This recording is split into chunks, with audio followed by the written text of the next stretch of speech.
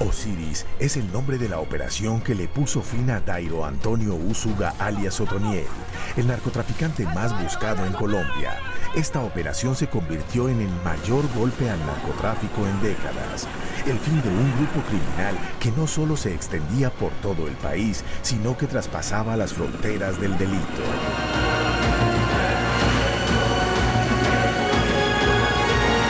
Mario, ¿usted alias qué? Otoniel.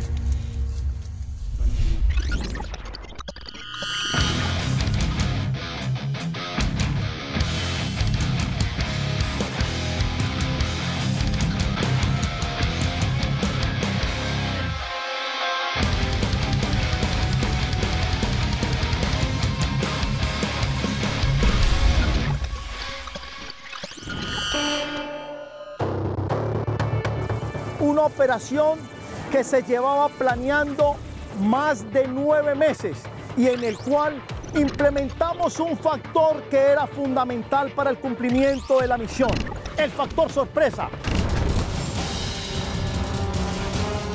Esto era fundamental para que en esta operación no hubiera forma de escapar, vulnerando todos sus eslabones de alarma que en operaciones anteriores nos dificultaba consolidar la captura de este objetivo militar.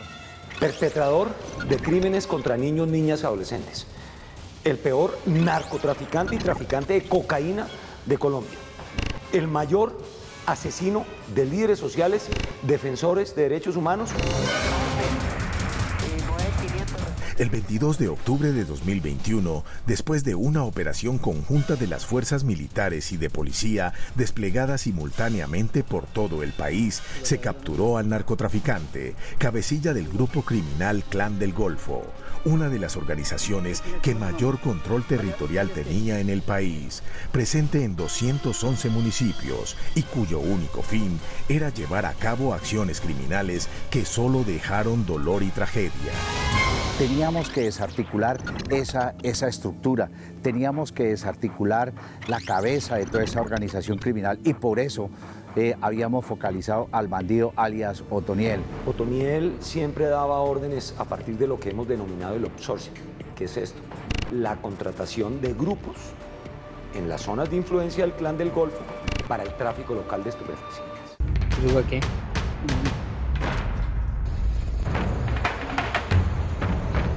Ha sido capturado Dairo Antonio Úsuga, alias Otoniel, el máximo cabecilla del clan del Golfo.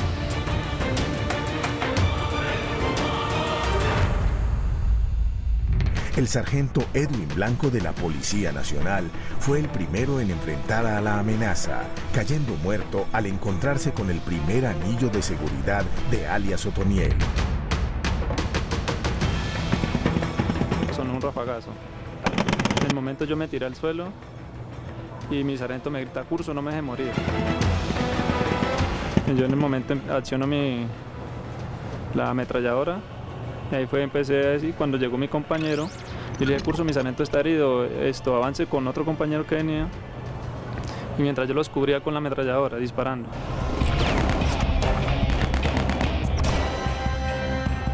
Que en esos momentos donde hicimos los desembarcos simultáneos, más de 67 desembarcos, se pudiera romper en su momento ese cerco militar. Y es ahí donde gracias a la inteligencia de combate de esos hombres que estaban en tierra, pudieran identificar sus rutas de escape. ¿Yo qué? David.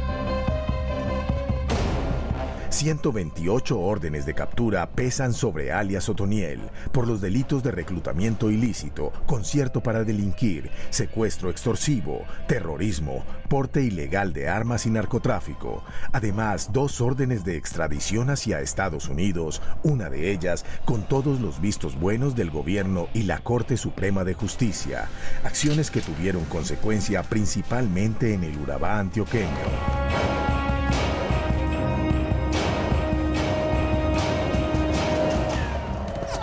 Clan del Golfo estaba conectado delincuencialmente con varias de las organizaciones de narcotráfico principales de México, varias de Centroamérica, de los Balcanes, de Venezuela, algunas de Sudamérica, otras en Brasil, en África. Una operación quirúrgica que permitió después de 12 años de persecución con la campaña militar y policial Agamenón, finalmente capturar a alias Otoniel. Por eso la captura de Otoniel, pero haber capturado también a Marihuano, a Dimax, a Andreas y otros cabecillas de segundo y tercer nivel es un golpe estructural contra el clan del Golfo.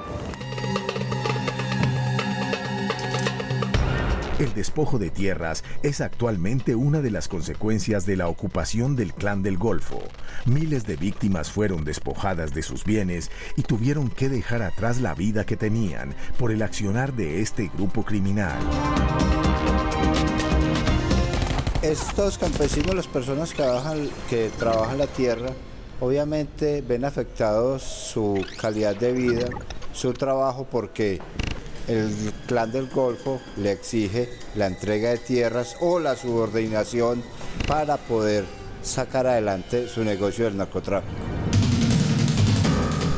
Operación como estas requiere de la participación de todo el Estado.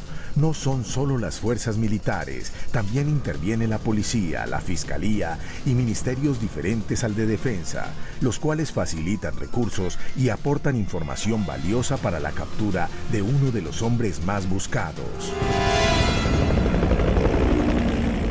La FAC a través del Comando de Operaciones Aéreas eh, y espaciales, la Jefatura de Inteligencia Aérea y Espacial y el Comando de Combate número 5, realmente protagonista por parte de la Fuerza, contribuyó mediante sus capacidades de combate, inteligencia técnica y de imágenes en la consolidación de una operación que resultó ser quirúrgica y orgullo del pueblo colombiano.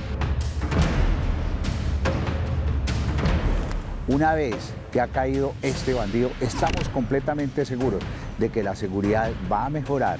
Eh, los niveles eh, de violencia producidos por el narcotráfico también tienen que disminuirse.